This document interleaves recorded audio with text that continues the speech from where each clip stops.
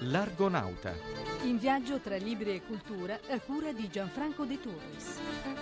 Cari argonauti, tra i molti scrittori che la cultura che si autodefinisce liberal democratica o progressista non sopporta o mette addirittura al bando, contraddicendo le sue stesse fondamenta teoriche, c'è Louis Ferdinand Destouche, più noto come Céline.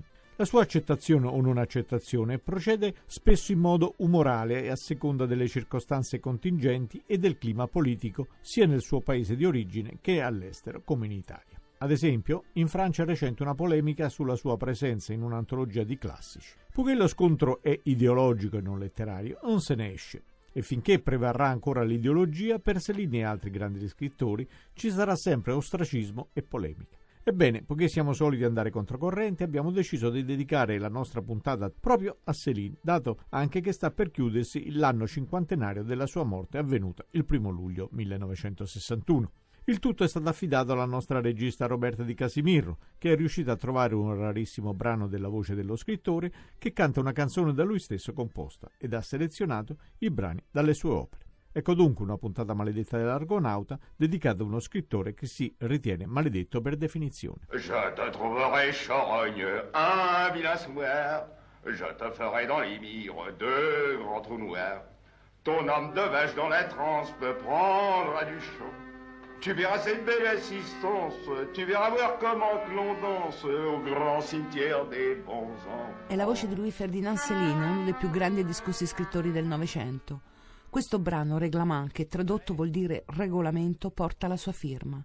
Céline compose questa un'altra canzone, Anne Coulin, Il nodo scorsoio. Vive que la putain, celle qui n'aime le matin, à l'aube crève le grain, ni mon cœur fidèle, ni les roses. You profondis. Molto si è detto di lui, spesso a torto. Sicuramente Céline è stato un personaggio controverso, la sua stessa esistenza lo testimonia. Gli ultimi anni della sua vita trascorsi da Reietto, alla periferia di Parigi, a Meudon. Ma molto di lui si è tralasciato come intellettuale, narratore, protagonista, interprete, lettore lucido del suo tempo.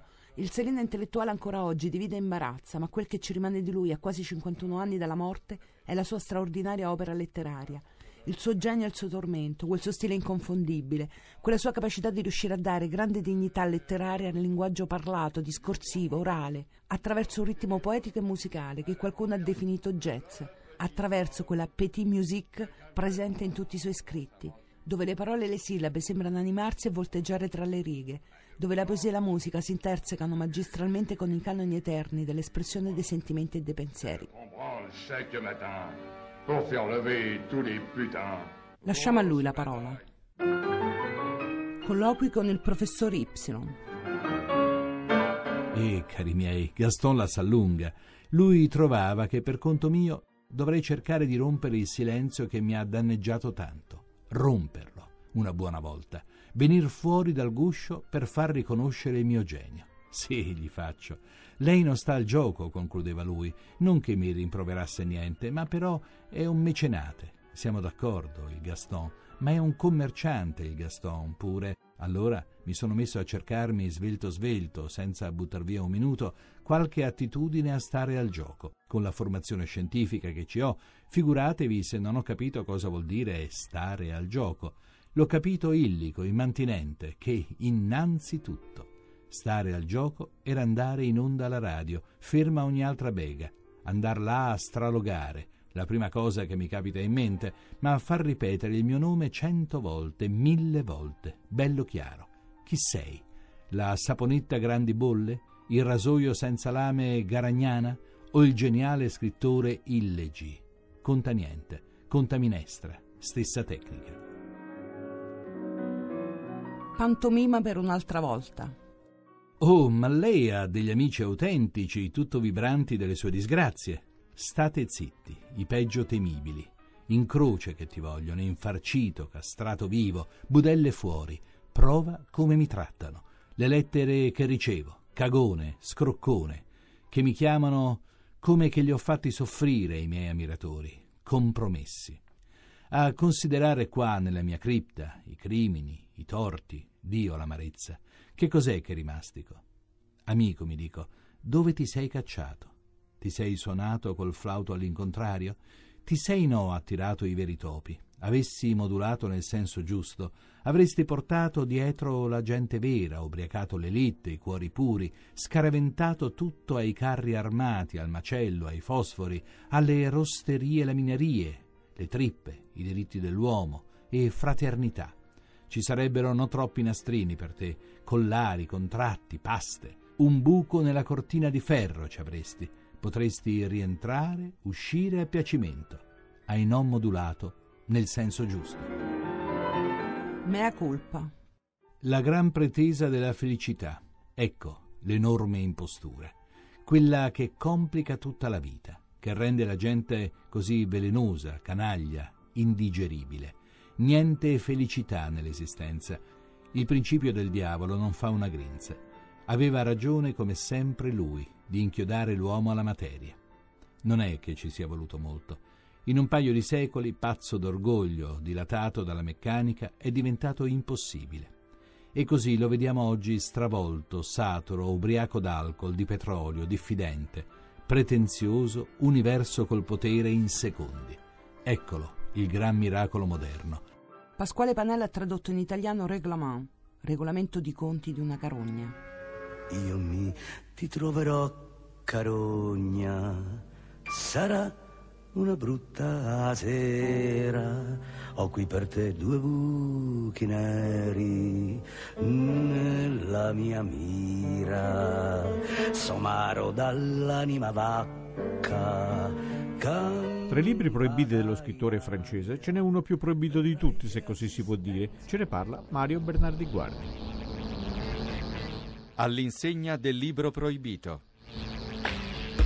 Non esistono due Céline. Il medico dei poveri che trasforma l'argot, la lingua dei bassifondi, in una prosa letteraria straordinariamente innovativa è lo stesso libellista che sfodera un antisemitismo feroce, allucinato, sghignazzante.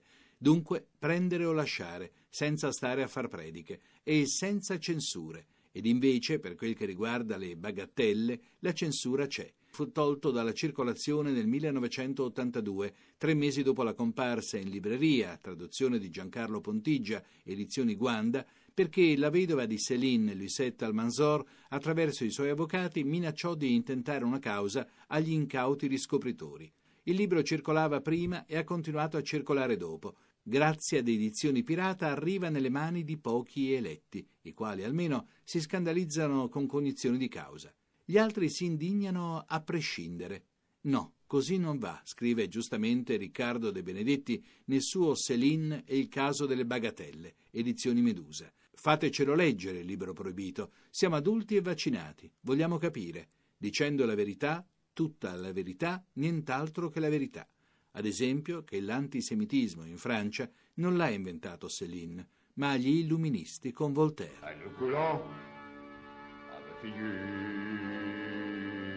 Per concludere, sogniamo ad occhi aperti, immaginandoci un mondo in cui le cose possono andare in modo diverso da quel che sappiamo, con una delle più note rubriche del professor Marco Cimmino. La biblioteca immaginaria. Recensioni di libri mai scritti, ma che avrebbero potuto esserlo. Autori vari. Nous sans tromper. Gallimard 2012.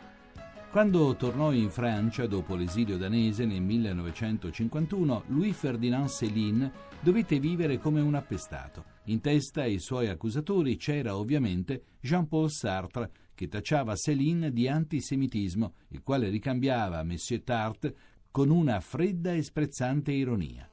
Oggi, a 61 anni da quel ritorno, un gruppo di scrittori e di critici francesi ha cercato di riparare a quella scomunica pubblicando questa silloge di saggi e di interventi tesi a ristabilire la grandezza e la modernità di Céline e in qualche modo a chiedere scusa. Già, chiedere scusa per i torti commessi in quegli anni in nome di una democrazia e di un comunismo che avrebbero alla fine dimostrato di essere inconciliabili l'una con l'altro. Sartre, Brecht, tutti i guru di quella stagione oggi ci sembrano incredibilmente miopi. Fortunatamente la Francia del 2012 ha trovato la forza e il coraggio per cercare, se non di rimediare, di ammettere i propri errori.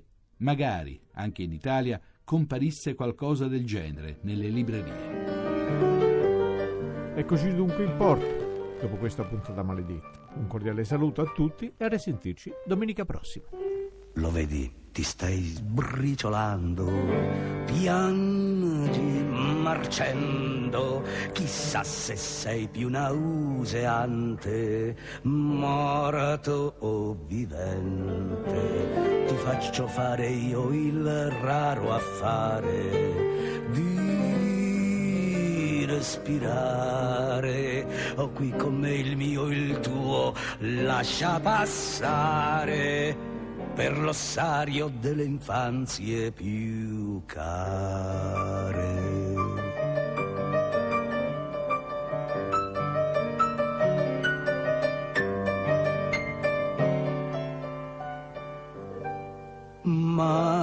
Guarda chi c'è la zia Ortensia e il suo piccolo leone e c'è Clementina e la lenza Totò. Bisogna dire a questi amici che la festa è finita. A morte la sorte che cosa mi importa? A morte gli inganni che il vento si porti.